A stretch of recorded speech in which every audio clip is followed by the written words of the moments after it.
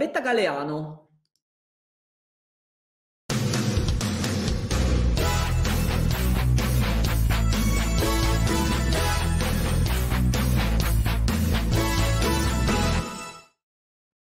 Buongiorno.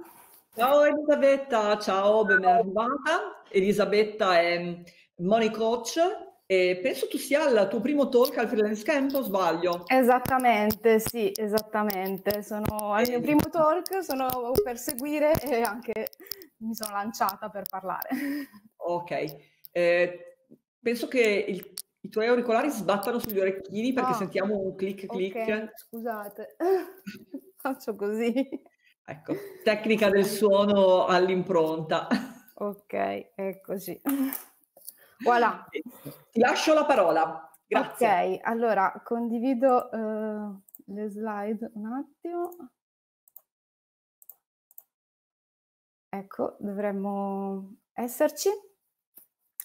Ehm, allora, sono molto emozionata di essere qui, in effetti appunto sono qua per la prima volta, ehm, quindi eh, riesco a, a parlarvi. Adesso scusate, ma non ho ehm, conferma che le slide siano condivise. Ok, ok. Eh, eccoci qua. Quindi eh, parliamo di app, un strumento molto molto pratico, ma eh, prima mi, mi presento.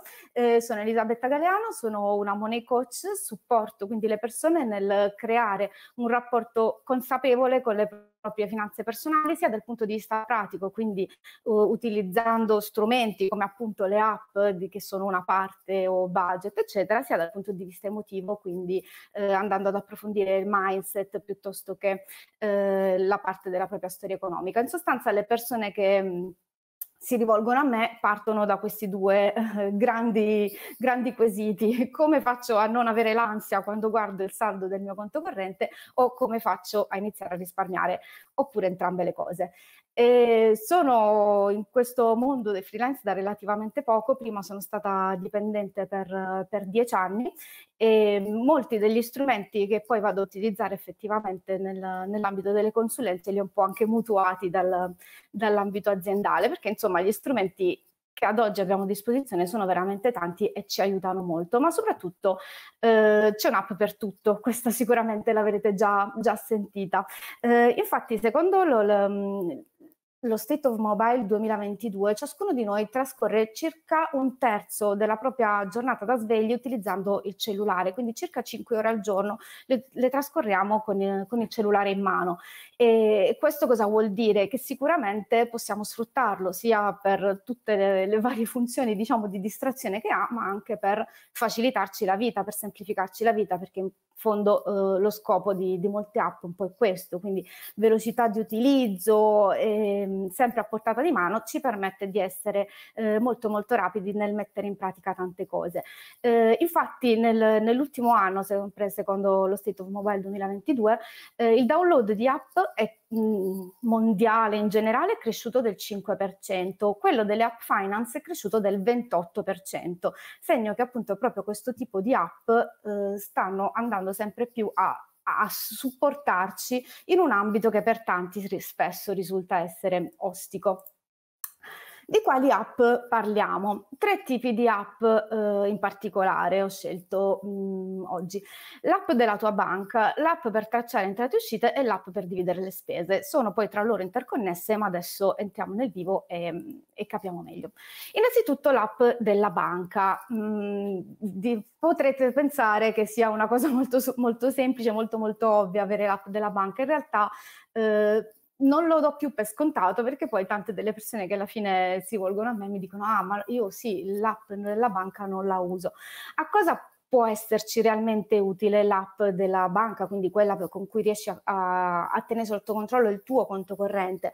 Eh, innanzitutto appunto ad avere proprio il controllo sul tuo conto. Cosa vuol dire? Che tornando alle motivazioni principali, cioè l'ansia di guardare il conto, ehm, renderci tutto molto molto più semplice ci aiuta anche a combattere questo tipo di ansia. Quindi se eh, devo fare, non lo so, andare al computer piuttosto che andare allo sportello e complicarmi la vita, è ovvio che già mi passa la voglia. Se invece ho semplicemente da fare due clic, mi sto già aiutando, mi sto facilitando il compito.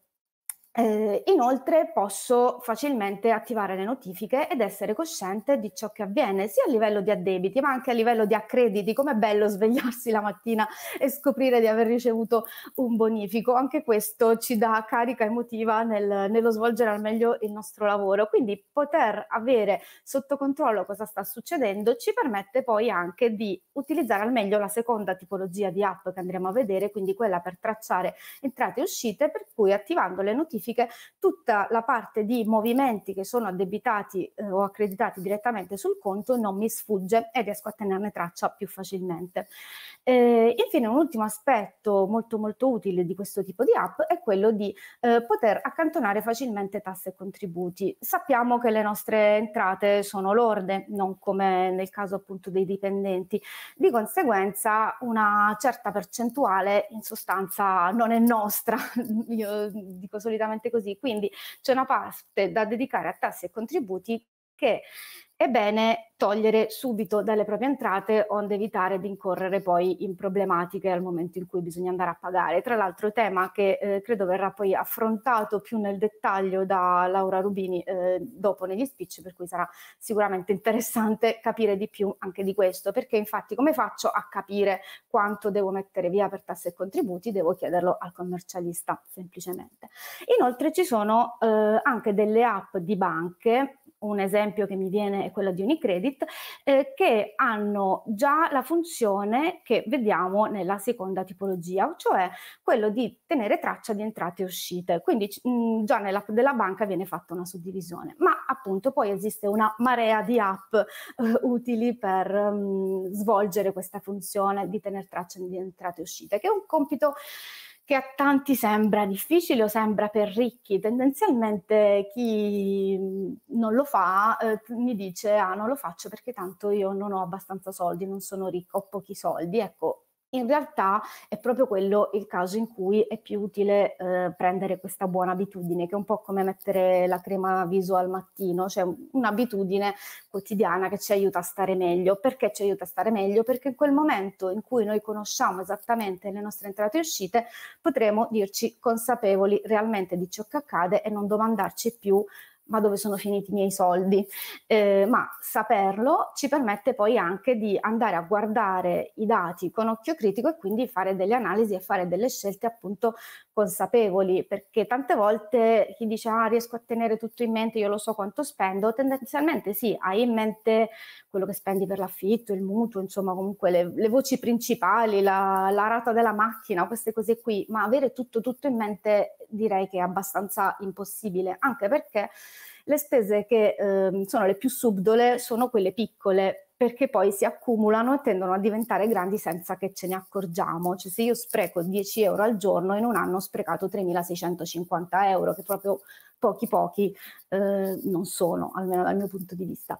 Infine, avere... Mh, contezza delle nostre entrate e uscite ci permette anche di pianificare obiettivi, i nostri obiettivi in funzione della capacità di risparmio di ciascuno di noi. Su questa tipologia di app mi soffermo un attimino in più. Eh, perché credo che sia un'abitudine davvero importante per poter fare delle riflessioni utili sul, sul proprio denaro, soprattutto quando non si hanno delle entrate e uscite fisse. Eh, a maggior ragione diventa un'abitudine davvero, davvero utile.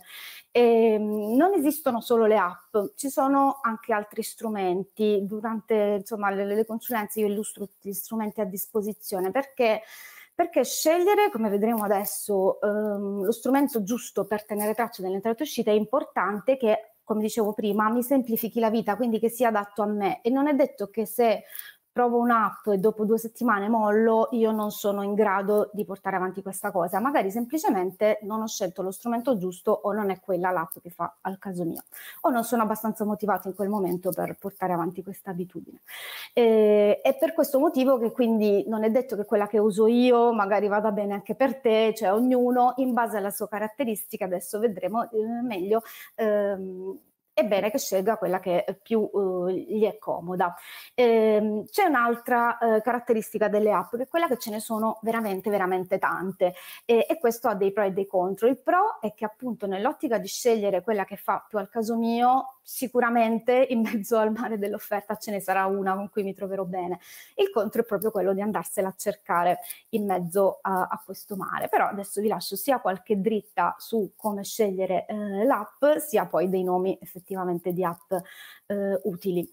Quindi come scegliere qual è l'app giusta per me dopo che ne ho sicuramente provata più di una, cioè ne scarico almeno due o tre eh, almeno, eh, le provo, ci gioco un attimino, metto dentro numeri a caso, vedo se la cosa eh, mi sta bene o no, innanzitutto deve risultarmi semplice l'attività. L'obiettivo è quello di semplificarmi il lavoro. Questa è una cosa che già a tanti sta antipatica. Se ci mettiamo ad utilizzare un metodo che in realtà ci ostacola eh, in qualche modo, è ovvio che non riusciremo mai a prendere, a prendere questa abitudine. Quindi deve, essere, deve darmi proprio la possibilità di essere eh, semplice, immediata. Inoltre deve avere tutte le funzioni di cui ho bisogno. Se ad esempio oltre a, a, tenere traccia delle entrate e delle uscite voglio utilizzarla anche per creare il mio budget, per darmi dei limiti di spesa oppure per distinguere le spese che ho fatto in contanti da quelle che ho fatto col conto corrente, da quelle che ho fatto con uh, Satispay, ehm, l'app che scelgo deve avere già tutte queste funzioni e caratteristiche. So che appunto alcune cose possono sembrare banali, però poi in effetti nel momento in cui si va a scegliere ehm, non lo è, eh, non è poi così semplice perché ripeto ce ne sono veramente tante. E infine deve farti sentire a tuo agio come quando indossi un abito che proprio ti fa stare bene, ecco, quello che metteresti da, per fare la spesa o per la serata di gala, quindi stai bene con quell'app, ti rende semplice la vita. Ad esempio se sono una persona a cui piacciono i colori, piacciono le cose colorate, è bene che io scelga un'app colorata che mi metta allegria. Se invece utilizzo un'app tutta nera o tutta molto schematica, magari mi crea angoscia e non mi sto aiutando nel creare questa abitudine, ma mi sto ostacolando perché il metodo che uso non collima col, col mio modo di essere. Oppure magari ha un'icona molto simile a quella dell'app che ha accanto, quindi mi sbaglio sempre a cliccare, va a finire che mi scoccio, non voglio più usarla perché non, non trovo mai quella giusta. Sono piccoli dettagli che però fanno la differenza nel, nel semplificarsi la vita nel, nell'utilizzo di queste app.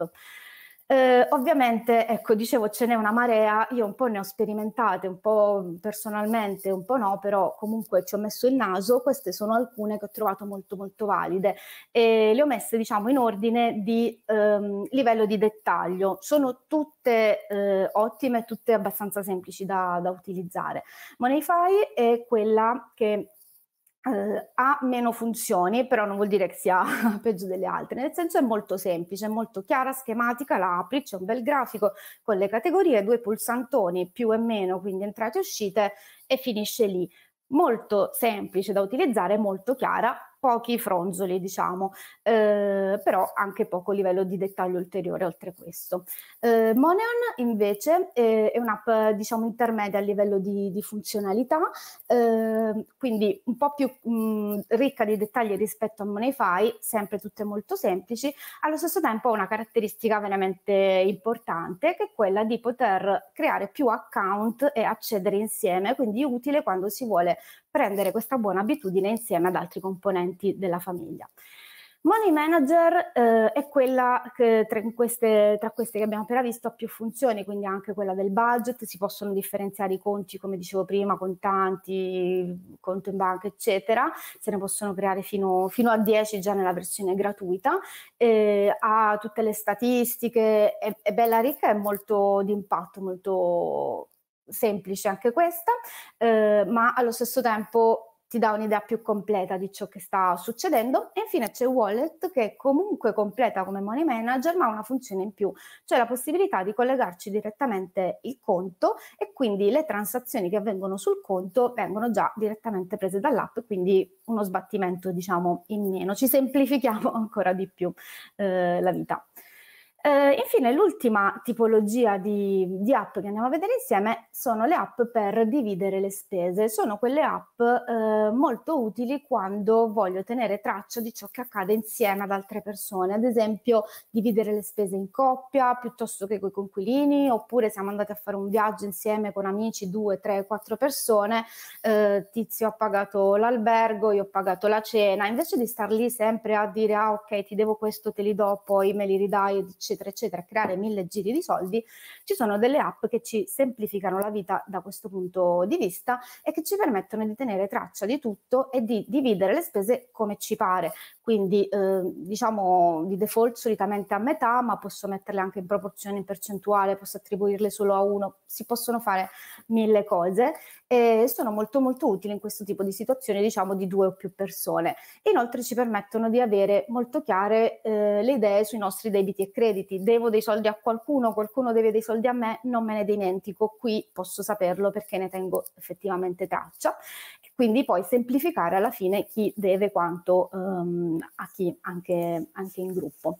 In questo caso non ho differenziato per, um, per livello perché più o meno queste app di cui vi parlo hanno più o meno tutte le, le stesse caratteristiche, eh, torna il discorso dello scegliere quella che fa al caso mio in funzione del, del rendermi semplice il compito e rendermelo magari eh, allegro. Se non mi piacciono i grafici a bolle, magari non scelgo questa piuttosto che eh, questa. Quindi le tre app ehm, che sicuramente sono molto valide per questo tipo di utilizzo sono Splitwise, SetLap e, e TreeCount. E detto questo, io ho velocemente terminato. Qui vi lascio i miei contatti, quindi la mail, il sito e i social. Tendenzialmente utilizzo Instagram, ma inquadrando questo QR code potete anche ehm, accedere alla Money Box, che è la pagina segreta del sito in cui ho diversi freebie.